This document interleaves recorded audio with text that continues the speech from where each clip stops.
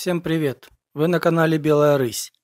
Сегодня у нас с вами очень интересный ролик, который многим просто должен открыть глаза. Могу сказать, что таких роликов у меня не было никогда. В создании данного ролика приняли участие жители небезызвестного вам совхоза имени Ленина, руководителем которого является Павел Николаевич Грудинин. Кстати, обращаюсь к блогерам, которые будут согласны с данным роликом. Этот, как и любой другой ролик канала Беларусь, вы можете копировать и загружать к себе на канал без опасения бана.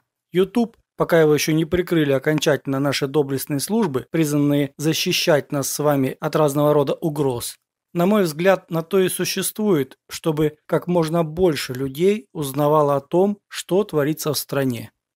Поехали.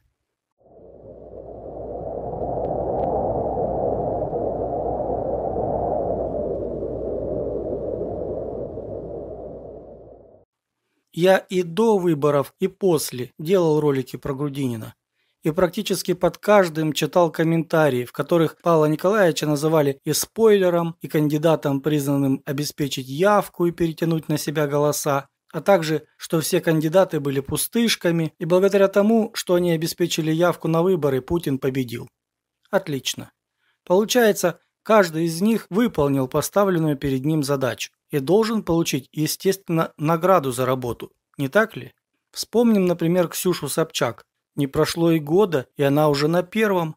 Да фиг с ними, с наградами. Этих спойлеров как минимум должна ждать спокойная жизнь при вновь избранном президенте, которому они помогли очередной раз стать тем самым президентом. Не так ли? И как показывает жизнь, так оно и есть. Ну что, а давайте посмотрим, как же обстоят дела сегодня у единственного, на мой взгляд, серьезного конкурента Путину – Грудинина. Какую награду получил он? Сейчас вы увидите сюжет, снятый самими жителями совхоза. Но перед тем, как вы его увидите, я хотел бы вас предупредить о том, что не нужно делать поспешных выводов из первых кадров. И иногда не все так, как кажется. Смысл сюжета вы почувствуете только в конце. И поверьте, он будет неожиданным. Добро пожаловать в подмосковный поселок совхоза имени Ленина, в наш уникальный детский парк Лукоморье. Этот парк очень популярный среди москвичей и жителей Подмосковья, и даже среди жителей других регионов России. Он тематический, он а, построен, основан по мотивам русских народных сказок, сказок Носова, сказок Пушкина и других сказок. Эти сказки мы можем сейчас э, передать своим детям, то есть мы развиваем их по нашим как бы традиционным устоям. А, этот парк, он предназначен не только для развития умственных там, способностей, но и для физической активности. Здесь очень много веревочных парков, здесь горки, батуты, здесь есть карусель, замок. При этом парк очень удобный и комфортный. А, здесь есть и кафе, и много лавочек. Мы с удовольствием ходим в этот парк. Этот парк он э, открыт для всех. И он бесплатен за счет того, что его э, поддерживает, э, он создан благодаря его поддерживает наше градообразующее предприятие совхоз имени Ленина. Каждый год здесь все проверяется, ремонтируется, все подкрашивается. И плюс здесь э, не остается все в том же виде. Каждый год добавляются какие-то новые интересные вещи. Мои друзья, когда приезжают э, к нам в гости, они очень любят посещать этот парк. И э, моя мечта как мамы, чтобы такие парки были близко, рядом с каждым из этих из детей, чтобы у каждого ребенка в нашей стране была возможность в доступности прийти в такой замечательный уникальный парк. Я многодетная мама, у меня четверо детей. Один из моих детей ходит в садик, на территории э, которого я сейчас нахожусь. А трое старших детей ходят в школу. У нас очень классные сады, очень хорошие школы. В садах, а, помимо того, что вся вот эта вот красота, инфраструктура, и ребенок, приходя из садика, он получает а, кучу положительных эмоций. Он здесь очень хорошо развивают творчество детей. Помимо всяких развивашек, помимо мастер-классов, праздников, э, которые постоянно устраиваются, э, здесь еще, что для меня очень важно, что у моих детей прекрасное питание. Питание готовится непосредственно в садике, непосредственно в школах э, где люди отвечают за то, что они делают. Готовится все из продуктов выращенных в ЗАО совхозе имени Ленина. Все экологически чистое, а, все вкусно приготовлено. И даже мои дети, приходя домой, мне говорят, что мама, а, он, а в садике были вкуснее котлеты, чем у тебя. За что я приношу огромную благодарность а, директорам, управляющим нашего ЗАО. А, в школах все секции, что есть в школе, группы продленного дня, питание, все это бесплатно. Мне, как многодетной маме, это очень важно. Для нашей семьи это большое подспорье. В ДК все, э, все мастер-классы, все секции, все, что проводится в ДК, все праздники, э, все бесплатные. Э, за 13 лет, что мы проживаем в этом совхозе, мы были на кучу концертов, и ни один концерт не был э, за деньги. Все, все мероприятия проводятся, все э, праздники готовятся детьми в наших школах, в наших садах, в нашем ДК. Огромное спасибо Павлу Николаевичу и всей его команде. Я мама будущего первоклассника. Мы специально переехали в поселок, чтобы наш сын пошел в эту школу. Эта школа самая лучшая. Это абсолютно уникальный проект, который построен и обслуживается за счет ЗАО «Совхоз имени Ленина». В этой школе собран опыт всех самых лучших и современных школ мира – в этой школе есть прекрасные стадионы, скалодром, кулинарный класс, столярные и слесарные мастерские, а, архитектурная студия. Все кабинеты оснащены по последнему слову техники. В этой школе которая построена из экологически чистых материалов, мой ребенок получит прекрасное образование и сохранит и приумножит свое здоровье. Я хочу, чтобы у нас в стране все школы были такие. Я с волнением жду 1 сентября. Дорогие друзья, ну мы, наверное, все-таки сейчас с вами находимся в одном из самых излюбленных мест э, зоны отдыха жителей. Это зона прудов. Ну, мы так и называем. Пошли на пруды, айда на пруды. Изначально эти пруды были э, предназначены для орошения полей сельхозназначения. Ну, они сейчас тоже выполняют эту функцию, но наше руководство пошло дальше, и оно сделало для нас, для жителей, зону такую отдыха.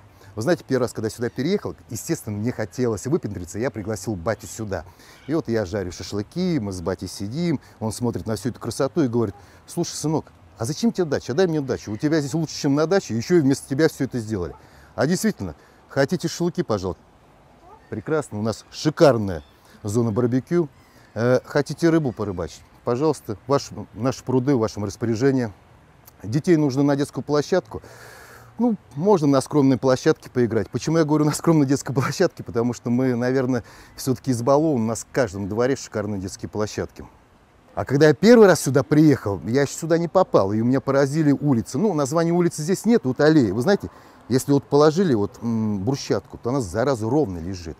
Если сделали озеленение, это не просто кустарники насадили, это вот, ну, реально ландшафтный дизайн. Реально видно, что работали специалисты. И даже вот когда ко мне друзья приезжают, они говорят, слушай, Серег, здесь бумажку вот бросить, честно говоря, страшно. Я почему страшно? Так ее за километр будет видать.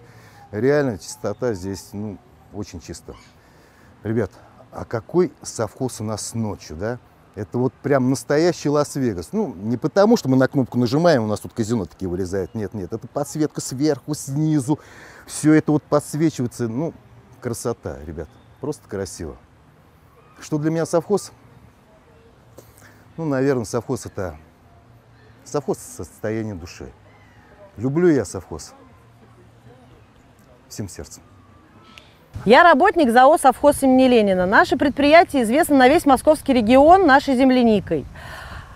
Москвичи с нетерпением ждут урожая этой прекрасной ягоды. Помимо этого мы выращиваем ягоды жимолости, голубики, яблоки, овощи. Все это по новейшим агротехнологиям. На территории поселка расположен огромный садовый центр по реализации саженцев. В совхозе есть новейшая роботизированная ферма. Помимо молока, теперь в продаже у нас есть натуральный сыр без добавок, что в настоящее время уже редкость. Помимо этого, а, совхоз в совхозе есть цех по переработке сельхозпродукции, на котором также осуществляется розлив воды. Огромной популярностью пользуется агротуристический комплекс и клубничный город профессии, где дети получают незабываемые впечатления, окунувшись в мир сельского хозяйства. В настоящее время мы находимся в состоянии постоянного стресса. Из-за рейдерского захвата нашего предприятия и постоянного давления на нашего руководителя Грудинина Павла Николаевича целью захватчиков является разорение нашего предприятия и застройка наших полей многоэтажками. Мы против этого. Мы боимся, что парк может превратиться в способ зарабатывания денег на наших детях. Мы этого не хотим. Не дайте разрушить это уникальное место. Помогите нам сохранить его.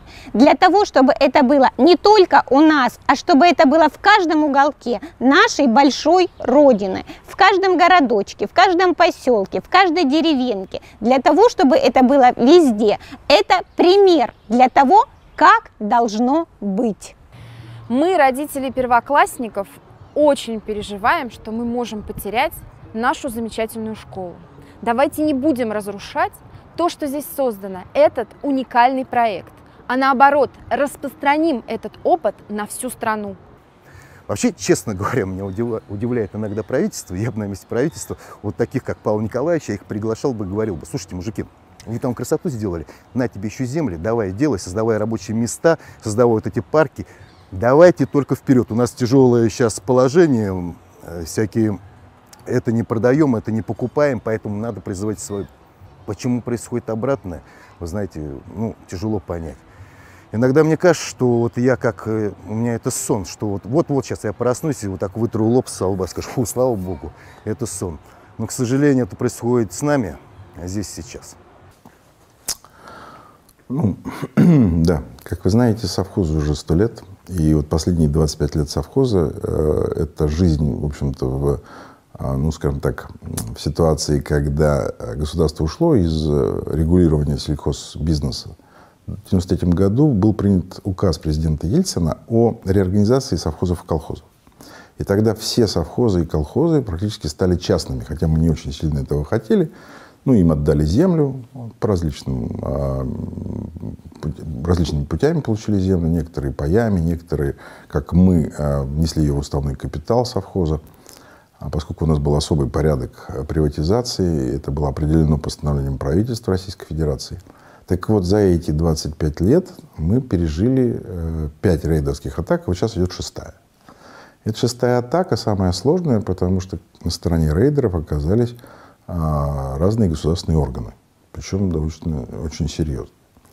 И раньше все рейдеры были поддержаны в той или мере там, коррумпированными чиновниками, правоохранителями, но сейчас это особенно хорошо видно, потому что мы начали проигрывать а, суды, которые раньше в общем, стояли э, больше на нашей стороне, потому что мы делаем все законно. Вот, и уже больше года нас, как это принято говорить, дербанят э, по любому поводу, причем мы не находим поддержки в государственных органах.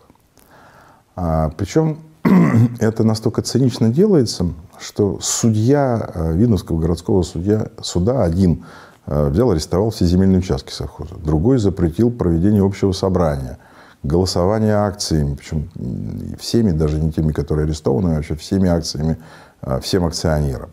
Одновременно с этим началась попытка давления через правоохранительные органы судебные приставы, э, полиция, причем различная, и э, отделы по экономическим преступлениям, и одновременно там, дознаватели следственного управления носятся за нашими акционерами, за э, руководителями совхоза, с, со всякими там, ну, в общем, совершенно надуманными э, предложениями.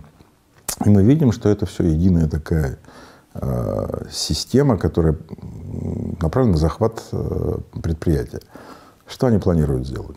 Значит, получить контроль над э, большинством акций, то есть получить контрольный пакет акций. Причем это делается абсолютно цинично. Они говорят, что мы возбудим уголовные дела на акционеров, на руководителей совхоза.